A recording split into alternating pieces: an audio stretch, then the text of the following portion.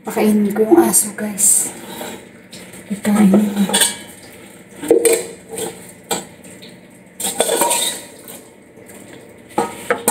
Dalawang beses lang kumain ng mga aso namin. Brunch time, tapos sa gabi. Tapos may snack sila paghapon. Nabigyan ko sila ng biscuits.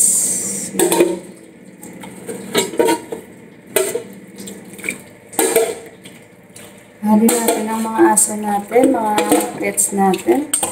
Kasi laking help nila sa atin.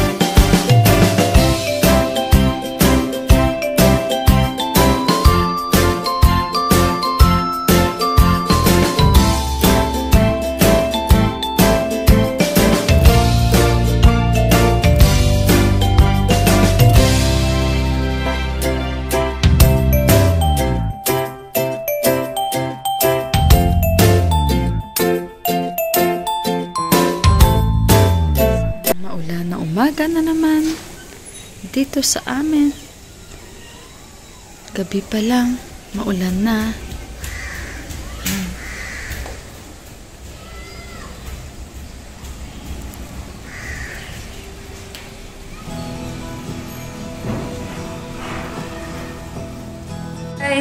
Good morning po sa inyong lahat and welcome back sa aking channel. So ngayon guys, lockdown dito and so far hindi pa naman nag-close yung mga tindahan.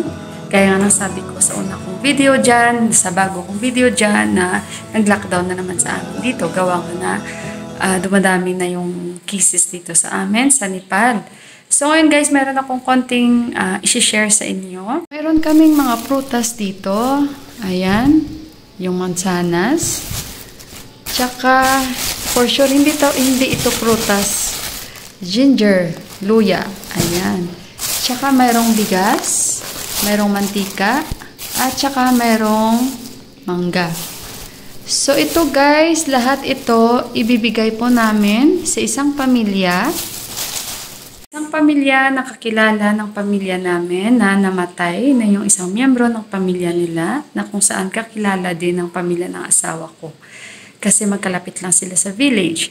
So dito guys, isa din sa kanilang paniniwala ang magbigay ng ganitong klaseng pagkain na kung saan is uh, yung namatay po, kung ano talaga yung kinakain niya sa, nung nabubuhay pa siya. Na normal na mga pagkain na kinakain niya guys. So yun, ibibigay iyon after 13 days or kahit after 5 days po. Magbibigay po yung mga taong nakakilala sa kanya. So, itong araw na po ito, isi-share po namin sa kanyang pamilya yung mga uh, prutas na ito, bigas, mantika, tsaka yung mga nilalagay sa kanyang pagkain sa araw-araw din ng kanyang pamilya. So, yun po ang kanilang paniniwala dito na after 5 days or 7 days or 13 days, pwede pong magbigay sa pamilya na na iwanan niya na kung ano man ang kinakain niya nung buhay pa siya. So yun guys, uh, ito hinahanda namin para ibibigay namin sa kanyang pamilya na naiwan. And yung ano guys, dagdagan pa namin yan yung pepper, tsaka yung mga dal na lentil soup. Yun po, ang ihatid mamaya ng pinsan ng asawa ko.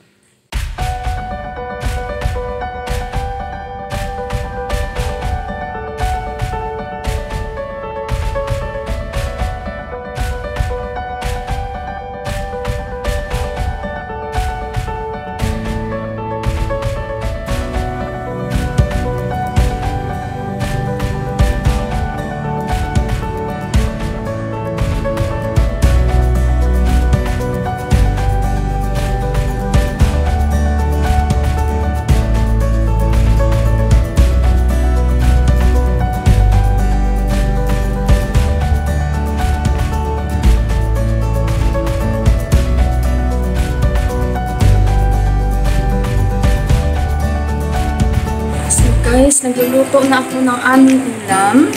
At tingnan nyo guys, akala ko munggo yung nabili ko. Pero ibang klaseng munggo. Kasi nga magluluto ako today munggo guys, Filipino style. Ano guys, hindi ito munggo ang nabili ko. Super tigas. Malalaki siya guys. Kaya yan, ilagay ko na siya. Okay na yan, kung pwede na yan.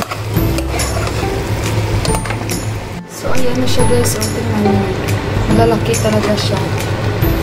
Lagyan ko lang ng kalabasa, spinach, tsaka yung manok na slice-slice ko. Tsaka may ampalaya siya guys.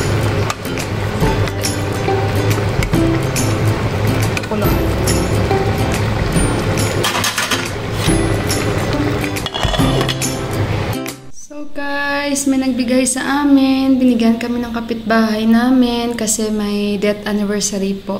Dito po sa Nepal, pag may nagpag nagse-celebrate po sila ng mga anibersaryo ng mga yumaong mahal nila sa buhay, wala po silang mga meat that day. Nagpupudya po sila, dasal po yung pudya, dinadasalan po nila. At nagpa-fasting po sila um, buong pamilya. So, yung kinakain po nila, ito po yun. May niluto po silang chickpeas. Ito. Tapos, meron ding green peas. Tapos, yan yung patatas. And meron din silang pickle, guys. Green peas din ulit. Tsaka may labanos and cucumber. Mga maanghang to, guys. Kaya makikita nyo yung chili, oh. Gusto ko mantikman. And ito, guys, gawa sa flour na niluto sa mantika. And ito yung rice pudding nila na tinatawag.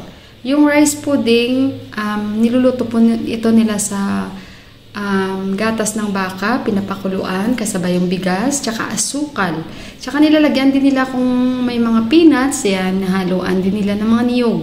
Yan, so titikman natin yan guys, kasi kumakain po ako nito. Yan. So since hindi po ako makakain nito ng mga to guys, kasi maanghang, ba't kumakain po ako niyan? Kaso, maanghanga ito, eh, may problema ako sa chance, hindi po ako pwedeng kumain yan. Pero masasarap din naman po guys. So tikman natin tong rice pudding. Matamis to eh. Mm. Parang sa atin, parang um, kasi sa Ilonggo sa amin lugaw eh. Yung nilugaw sa amin sa Ilonggo o sa Negros, yung nilugaw is may mga sago, may mga um, saba, maraming sahog. Hindi ko alam sa ano, sa, ah, bilo-bilo, sa Tagalog, bilo-bilo, naalala ko na. Pag tinikman nyo po yan, parang ang lasa niyan is bilo-bilo. Kaso marami silang nilalagay na pepper, yun, kaya medyo may anghang din konti. So, depende po sa nagluluto po yun. Pero nagluluto din po ako and one time, papakita ko po sa inyo. Ang tawag nilang rice pudding. Ito siya guys, so rice pudding, yan ang tawag nila. Nagpalit ako ng damit kasi lumabas ako kanina guys. Nung after ko pinakita sa inyo, yung mga dadalhin nila doon sa sa isa pamilya na namatayan na ibibigay yung lahat na pagkain na yon. So may mga pinamili din po ako sa aming parang uulamin. So kaya nagpalit ako ng damit and yun habang kumakain kami. And yun guys, nagbigay yung kapitbahay dito. Yung bago namin kapitbahay.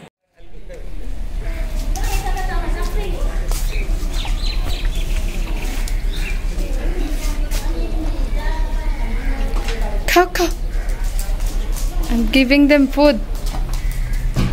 Because I put in my vlog. There is the vegetable na rin, bay? Yeah! Medyo mainit pa kasi yung pagkain. Eh. Hindi naman ganun kainit. Kaw, kaw, kansi ka. Sabi ko kain na siya.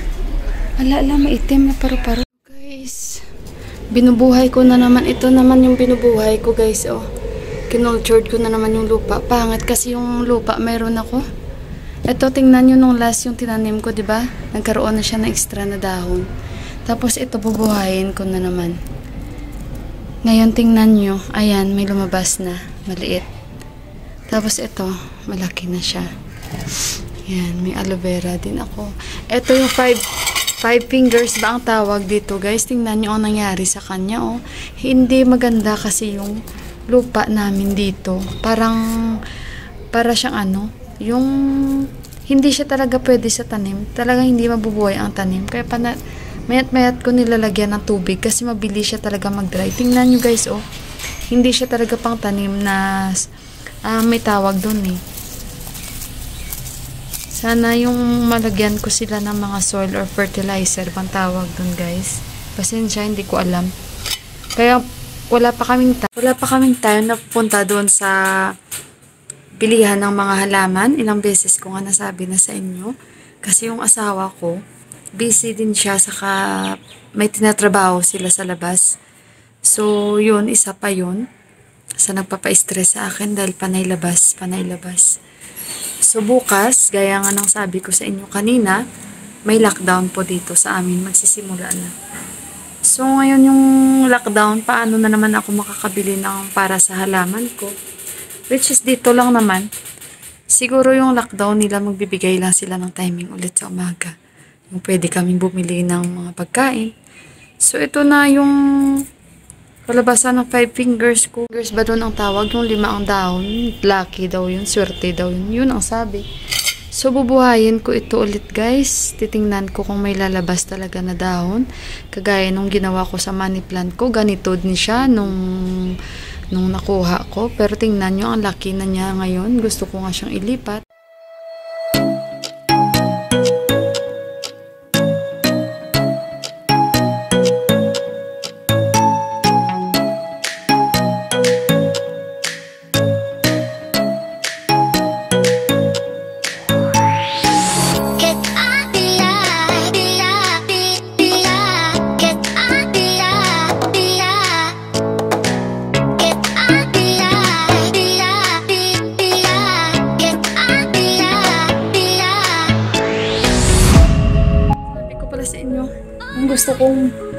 Bubuhayan yun.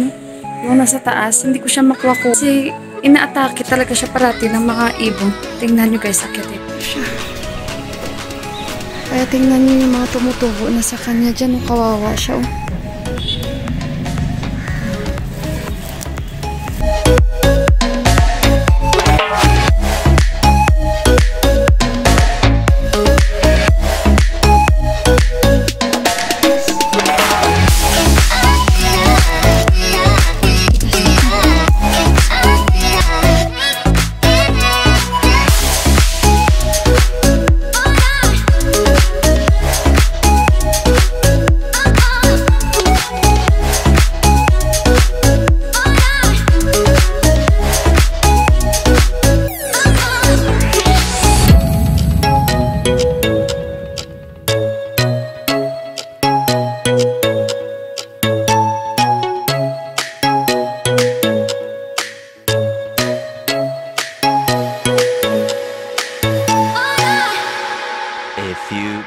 Later. Hello guys! So, tapos ko na ayusin yung mga halaman. Nagpalit na ako ng damit. So, tingnan nyo guys, makikichismis muna tayo dito. Yung kapitbahay namin, kinakasal. Simple lang yung kasal niya.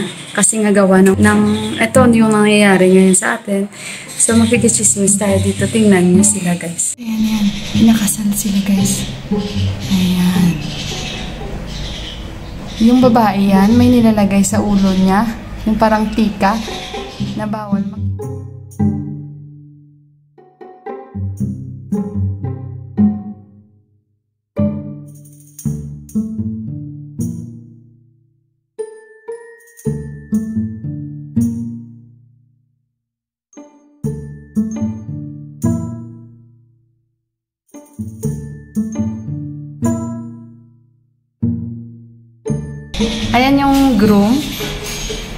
Siya yung groom.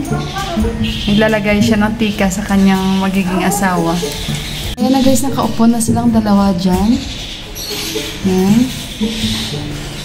Ito pala sinasabi kanina ng asawa ko na may kasal dyan sa kapitbahay. Kasi pumunta yan kapon yung groom dito para mag-invite siya personal sa aking asawa. Kaso yung asawa ko wala.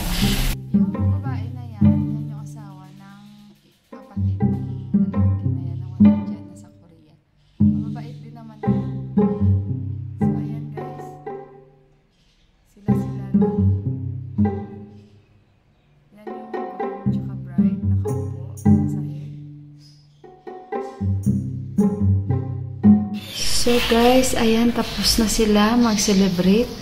Yung groom, ayan na yung naka-blue. Ayan. Mabait din naman yan guys ang aming kapitbahay na iyan.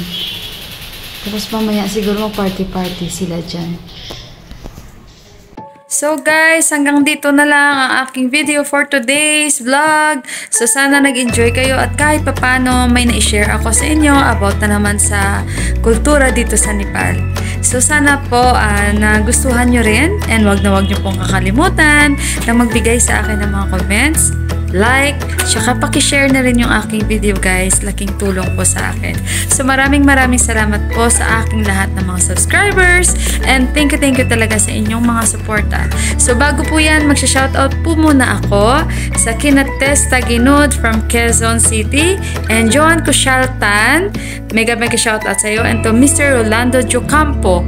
So mega mega shoutout sa inyo guys and nawa eh sana hindi kayo magsawa na mag-support at manood ng aking mga vlogs. Mga hindi pa po na-subscribe ng aking channel, kalimutan na i-click yung red na button dyan para ma-notify po kayo pag may bago po akong ina-upload na videos.